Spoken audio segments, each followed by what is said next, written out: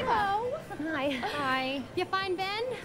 I was not looking for Ben. Right. Okay, I was just trying to get a drink. The lines are so long, it is literally oh. impossible. Oh, it's so weird. Couldn't find him. Well, Jordan found a guy. What? Yeah, no, but I I lost him because Oh. I don't know. It just it all happened so fast. So you're gonna find him again. Okay, but how? Because tonight is a very very special night.